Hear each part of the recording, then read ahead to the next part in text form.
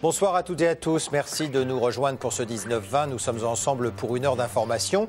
À 19h30, ce sera votre édition nationale avec à la une cette tempête hivernale qui a fait un mort et une cinquantaine de blessés légers en France. L'épisode est terminé, mais les dégâts ont été localement importants. Les services de secours ont procédé à plus de 4000 interventions, essentiellement dans le nord du pays.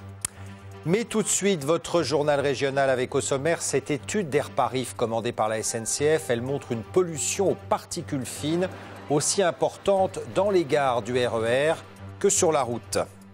15 ans de travaux, la Tour Eiffel va se lancer dans des aménagements importants pour mieux accueillir les visiteurs qui viennent du monde entier et qui doivent souvent faire la queue très longtemps. Et puis à la fin de cette édition, un soir à Paris nous emmènera à la rencontre de l'immense Michel Legrand qui sera en concert piano solo au théâtre du Rond-Point lundi prochain. Tout d'abord, l'air que l'on respire dans les gares RER est-il aussi vicié que sous un tunnel routier? Il semble que la réponse soit oui. Des niveaux de particules similaires ont été enregistrés sur le quai. Airparif mesure l'air depuis quatre mois à la demande de la SNCF et c'est le freinage des trains qui est responsable. Les détails avec Gaël Darangos et Mustapha Tafnil. Vous cherchez de l'air pur? Passez votre chemin. Dans nos stations de RER, on fait le plein de particules fines, ces micro-poussières nocives pour nos poumons émises par les systèmes de freinage. Airparif enregistre 100 microgrammes par mètre cube d'air à la station Saint-Michel et 140 microgrammes à Austerlitz, bien au-dessus du seuil d'alerte, comme le révèle Airparif dans notre émission Transportez-moi. C'est le même type de particules que celles émises par les voitures C'est des particules qui sont plutôt plus grosses euh, que les particules émises par les voitures. Peut-être moins dangereuses. Elles sont un peu moins dangereuses que les particules plus petites. Et en revanche, vous avez, vous avez moins de dioxyde d'azote que ce que vous respirez dans votre voiture et vous n'avez pas d'ozone. Premiers concernés, les salariés qui passent leur journée dans ces espaces confinés. Depuis de nombreuses années, le comité d'hygiène de sécurité de la SNCF alerte sur ces questions. Des efforts ont été faits, mais il y a encore du travail. C'est peut-être euh, euh, mettre des systèmes de ventilation euh, plus puissants pour ventiler la gare, essayer de trouver un nouveau matériel où, où on, a, on a moins besoin d'utiliser le freinage mécanique et, et, plus de freinage électrique. C'est, enfin, il y a, y, a, y a, plein de choses qui peuvent être, qui peuvent être mises en place. Cette étude va se poursuivre durant deux ans. Vous pouvez consulter les résultats chaque jour sur le site d'Airparif. Côté métro, on dépasse aussi le seuil d'alerte selon une étude parue en septembre. Il vous est conseillé malgré tout d'utiliser les transports en commun, moins polluants que la voiture. Aude Blaché nous a rejoint. Bonsoir Aude. Bonsoir. Alors toujours en ce qui concerne la pollution, la mise en place dès lundi de la vignette euh, critère, une vignette obligatoire pour circuler dans Paris. Alors Paris n'est pas la première ville d'Europe à avoir pris une mesure en, en ce sens, Aude. Effectivement, euh, Jean-Noël, près de 200 villes en Europe, ont déjà, adopté des mesures de restriction euh, de circulation et certaines depuis très longtemps. Prenez l'exemple euh, de Londres. Eh bien, cela fait près de 15 ans que l'on a pris le problème à bras le corps. Depuis 2003, il faut payer pour circuler dans la ville et c'est très très cher, près de 70 euros par semaine. Résultat, une diminution des taux de particules fines d'environ 3% dans le centre. Euh, cette baisse de circulation de pollution est encore plus significative eh à Berlin, avec une diminution de 7% de particules fines, une diminution de 12% euh, de dioxyde euh, d'azote, car depuis 7 ans, seuls les véhicules peu polluants, équipés d'une vignette verte, peuvent circuler dans le centre-ville, dans une zone dite écologique. Du coup, la plupart des villes allemandes ont depuis adopté cette réglementation. Alors, est-ce que ça se passe comme ça également dans d'autres lieux? Effectivement, à Rome, Lisbonne ou encore Copenhague, les véhicules les plus polluants sont complètement bannis du centre-ville. Mais il y a aussi, euh, il faut le dire, quelques villes encore en Europe eh bien, qui sont à la traîne. En Autriche, en Bulgarie ou encore en Hongrie, aucune mesure de restriction euh, de la circulation n'existe dans ces pays. Merci beaucoup de Blaché pour tous euh, ces détails, pour cette réglementation qui sera donc mise en place à partir de lundi prochain. Et puis sachez que la ministre de la Santé, Marisol Touraine, en appelle à la vigilance face au nouvel épisode de froid et de neige qui devrait toucher l'île de France ce week-end. Une prévention nécessaire pour éviter, entre autres, les intoxications au monoxyde de carbone. 3600 personnes ont été, en ont été victimes l'hiver dernier. Et puis l'Office national des forêts déconseille fortement de se rendre ce week-end et les prochains jours dans les forêts d'Île-de-France en raison des dégâts provoqués par la tempête la nuit dernière. La plus grande prudence est recommandée. L'ONF poursuit un état des lieux et sécurise les routes, les chemins et les sentiers. Tous les événements sportifs et autres qui devaient avoir lieu en forêt ce week-end ont été suspendus. Allez, on passe à un tout autre sujet maintenant avec la Tour Eiffel qui va être rénovée. Des travaux échelonnés sur une quinzaine d'années pour réduire l'attente des touristes qui se pressent pour découvrir le monument le plus visité au monde. La ville de Paris prévoit une enveloppe de 300 millions d'euros. Le point avec Carla Carrasquera et Isabelle Audin. C'est le cliché qu'il ne faut pas louper. Ils viennent du monde entier pour la visiter. La Dame de Fer, inaugurée en 1889, va se refaire une beauté les travaux devraient s'élever à 300 millions d'euros sur 15 ans. Un plan qui sera voté à la fin du mois au Conseil de Paris. Il prévoit la création de nouveaux espaces pour accueillir le public au sol. Il s'agit de mieux gérer les flux et sécuriser la zone. Les ascenseurs seront aussi modernisés, ainsi qu'une partie du deuxième étage. La municipalité veut valoriser ce monument emblématique de la capitale. Les travaux les plus importants seront réalisés d'ici 2024. Paris espère obtenir les Jeux olympiques et veut mettre en avant ce lieu emblématique. C'est le monument payant le plus visité au monde. Il attire chaque année 7 millions de visiteurs. L'éclairage sera aussi rénové. La tour Eiffel devrait davantage briller. Et cette autre nouveauté, les ports du Havre, de Rouen et de Paris veulent fusionner. Cette annonce a été faite hier par les présidents des deux régions Île-de-France et Normandie. C'est un projet très ambitieux qui répond à une volonté de cogestion. Les détails avec Isabelle Dupont. Deux régions main dans la main autour d'un projet phare. Entre l'Île-de-France et la Normandie coule la Seine, un axe majeur de l'activité portuaire. Paris a son port fluvial, Rouen et Le Havre, leur port maritime. Trois établissements qui collaborent déjà au sein d'un groupement d'intérêt économique. Mais le projet consisterait à fusionner totalement ces trois ports en une seule entité une convention a été signée hier par les présidents des deux régions concernées. Il faut qu'on construise euh, cette vallée de Seine ensemble et euh, nous portons un projet un peu audacieux, un peu ambitieux, un peu visionnaire d'un port unique, le port Paris-Normandie. Et nous portons aussi l'idée, là aussi un peu audacieuse, euh, de la décentralisation de la gestion de ce port unique aux deux régions. Car pour l'instant, ces trois ports, Paris, Rouen, Le Havre, sont des établissements publics d'État. Les deux collectivités territoriales souhaiteraient récupérer la gestion de ce futur port unique. Une fusion destinée à créer un établissement plus puissant, en mesure de résister à la concurrence des grands ports du nord de l'Europe. Et puis cela ne vous aura pas échappé, le premier débat télévisé des sept candidats à la primaire de la gauche avait lieu hier soir. Un événement très commenté sur les réseaux sociaux qui joue un rôle important dans cette campagne. Vous allez le voir avec les soutiens d'Arnaud Montebourg. Morgane Prévost et Faye Blumluber étaient sur une péniche amarrée dans le 12e arrondissement.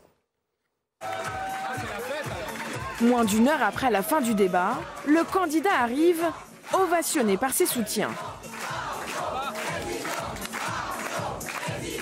Un grand merci à vous pour votre engagement nous allons gagner cette primaire. Et forcément, ça ne fait aucun doute pour les jeunes avec Montebourg. Il est excellent. C'est celui qui est le plus euh, affirmatif, le plus euh, convaincant.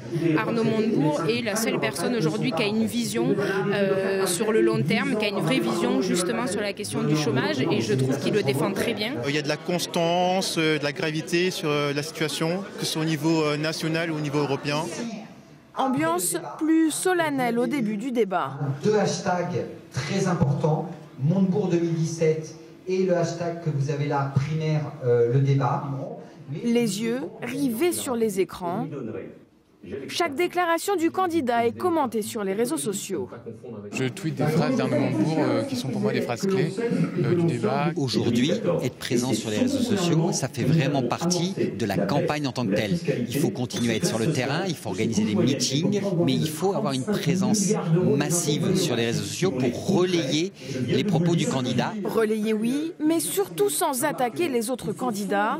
C'était la consigne hier soir. Vous voyez, il y a eu très peu de petites phrases de préparées, même même aucune pour l'instant. Euh, j'espère qu'il n'y en aura pas d'autres parce que l'objectif c'est qu'on puisse sortir grandi un peu de cette discussion et que ensuite on se rassemble tous parce qu'il y a quand même des, des, enjeux qui nous attendent après les primaires dans le reste de la gauche et après il y a François Fillon qui nous attend en face. Donc il y a un intérêt à rester unis et je pense qu'ils l'ont tous à cœur. Après deux heures et demie d'échange, soulagement. Les premiers sondages sont positifs. Je suis plutôt content de voir qu'il arrive dans le trio en tête. Il n'y a pas beaucoup d'écart de points avec Valls, donc c'est très encourageant pour la suite. Pas le temps de se relâcher. Prochain débat le 15 janvier. Fauché par un RER e alors qu'il longeait une voie ferrée près du Stade de France. Vous vous souvenez sans doute de ce drame qui avait eu lieu le 7 mars 2009. Après un match au Stade de France, deux jeunes supporters lillois avaient trouvé la mort. Le procès en appel de la SNCF avait lieu cet après-midi. La défense a plaidé la relaxe. La Cour d'appel rendra sa décision le 17 février prochain. La compagnie, condamnée en première instance à 280 000 euros d'amende pour avoir causé involontairement ces deux morts, a toujours réfuté sa responsabilité pénale. Et puis, euh, sans transition, toujours des mots, encore des mots, mais pas que des mots. C'est une idée originale qu'a eue cette linguiste spécialiste de la langue française en épluchant la presse, elle a recensé les vocables les plus utilisés pour en faire des œuvres d'art, des œuvres justement exposées dans une galerie parisienne. C'est une rencontre avec Bruno Lopez et Gilles Bezou. Comme dans la mode, il y a une tendance pour les mots. Des mots victorieux, des mots à succès, des mots qui imprègnent notre vie. Jeanne Bordeaux et son ciseau, un piège à mots. Son regard scanne des centaines de journaux pour collecter les locutions les plus marquantes. J'ai eu envie de bâtir et coudre la tapisserie de l'actualité de l'année. Et donc je prends 100 à 120 titres que je vais lire régulièrement tout au long de l'année. Et il y a deux nuits consacrées à ce travail. Autour de dix thèmes de société, communication, culture, femmes, économie, Cutter Woman découpe les mots M-O-T-S pour piéger les mots M-A-U-X. Le chef est dans tous les tableaux qui concernent le travail. Les chefs fascinent. On ne veut plus de chef, mais il faut qu'il soit là. Il y a des thèmes qu'on retrouve toujours, la discussion sur les gros salaires. Mais c'est normal quand on a un mot qu'on retrouve de plus en plus, hélas, qui est inégalité. Alors, à quoi ça sert, me direz-vous? Eh bien, les communicants de tout poil, qui font feu de tout bois, utilisent les travaux de Jeanne Bordeaux comme matière à penser. C'est quelque chose de très utile pour euh, sentir euh, à la fois les tendances euh, et puis voir un peu en, projection les, mots qui deviendront forts demain et ceux qui ont disparu en même temps. Jeanne Bordeaux conseille les entreprises qui ont besoin des mots pour vendre. Et voici 9 ans, elle s'est mise à son tour à vendre ses mots à elle, collés, scotchés sur de grands formats. Je trouve qu'elle est très douée, elle fait ça à n'importe comment, elle choisit, mais même les couleurs, tout, tout, est réussi. C'est vraiment toute l'année euh, résumée en fait. Une suite de locutions donc, cadavre exquis, deux mots qui mourront un jour, mais qui ont brillé le temps d'une année. Un travail qui fait un peu penser à celui de Duchamp, un ready-made qui transformerait les objets de tous les jours en œuvres d'art. Et comme chaque vendredi soir, place maintenant à notre rendez-vous Un soir à Paris avec Jean-Laurent Serra.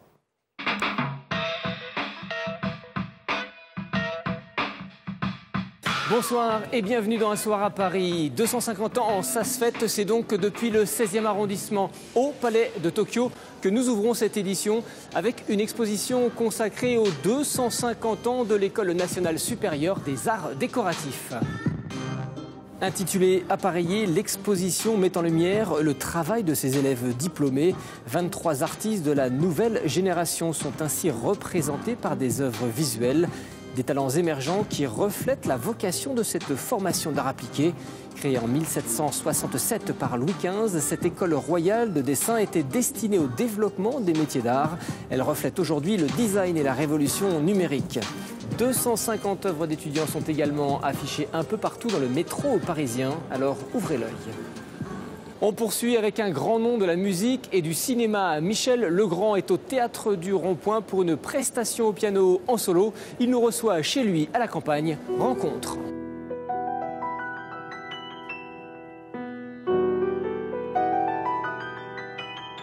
Michel Legrand, on se souvient évidemment euh, des parapluies de Cherbourg, euh, d'un été 42, mais également de James Bond, Jamais, plus jamais. Est-ce que vous connaissez le nombre de compositions que vous avez signées? Écoutez, j'ai un copain qui a fait une filmographie. Il est arrivé à 250.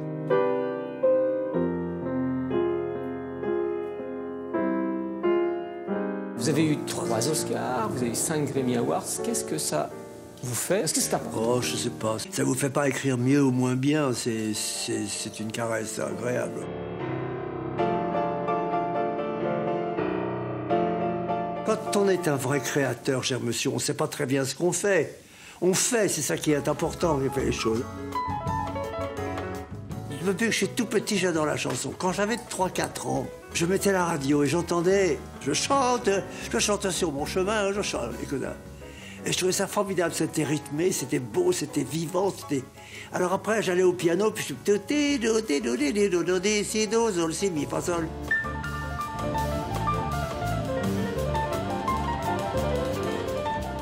Si par extraordinaire, j'étais une semaine sans piano, je survivrais quand même, soyez rassurés, oui. Mais enfin, ben, j'aime beaucoup ça, moi. Puis même quand je n'en joue pas, dans ma tête, j'en joue, alors c'est infernal, quoi.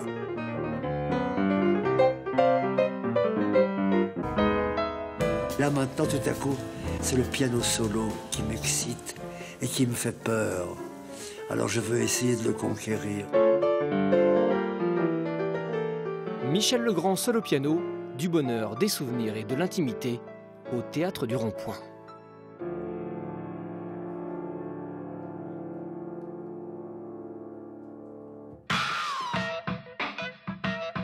L'entracte de la semaine nous emmène au théâtre de l'Archipel dans le 10e arrondissement avec un spectacle d'humour musical qui puise dans le répertoire du grand Claude Nougaro une sorte d'hommage. Dansez sur moi, dansez sur moi qui tourne comme un astre. Entre chansons, sketch et stand-up, le duo revisite la poésie du chanteur de Cécile Armstrong. Tout est prétexte à l'amusement. Je me tapis sous vos pieds.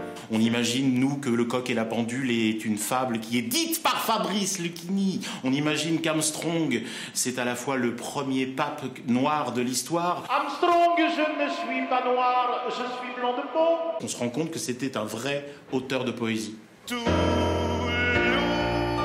Duo Nougaro, fantaisiste mais très bien interprété.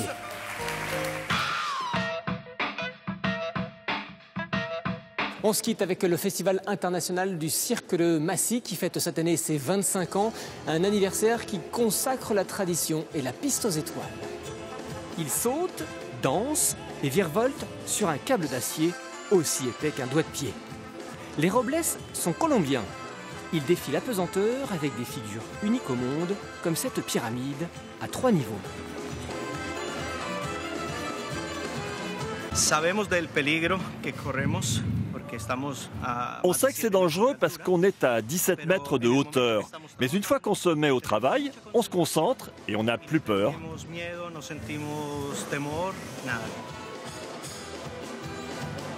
On commence tout petit à grimper sur le câble et on pratique. Alors à force, le corps s'habitue au vide. À l'image des funambules, le Festival du cirque de Massy présente une sélection mondiale des meilleurs numéros traditionnels du moment jonglage, acrobatie et bien sûr animaux. Une piste aux étoiles à l'ancienne, l'ADN du festival depuis 25 ans.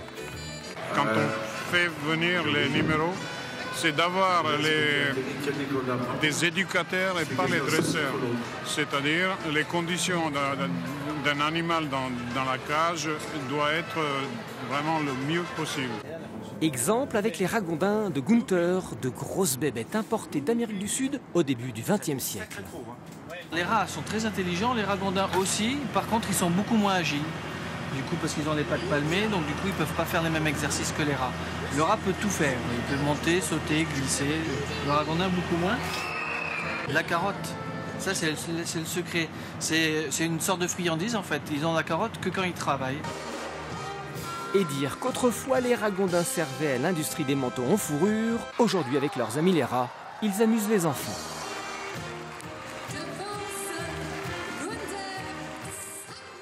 Voilà, vous savez tout. Et avant de refermer cette première partie du 19-20, voici les principaux rendez-vous dans nos éditions de demain, dans le journal de la mi-journée, autour de midi. Transportez-moi avec Bertrand Lambert. Ce sera sur la vignette critère obligatoire dès lundi pour circuler dans Paris. Et puis le soir, dans le 19-20, nous recevrons Mylène de Mongeau, qui sera dans quelques jours sur la scène de la Comédie des Champs-Élysées aux côtés de Jean Pia. Vous retrouvez tout de suite Catherine Matoche pour l'édition nationale. J'aurai le plaisir de vous retrouver demain dès midi ainsi que pour toutes les éditions du week-end. Très belle soirée à vous. Merci de votre fidélité.